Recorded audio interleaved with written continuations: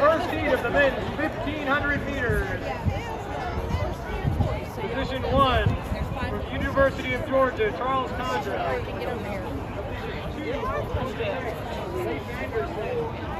Position three, competing unattached, Kinsey Harrison.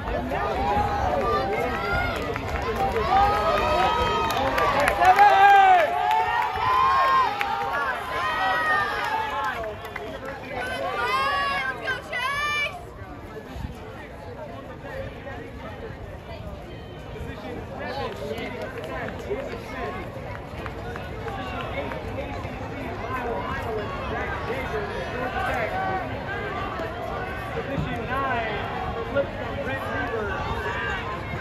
Position ten, from Georgia Tech, Zach Pruitt. Position 12 from uh, from University of Georgia, Claiborne Tender. And position 13 from Lipscomb, Zach Israel.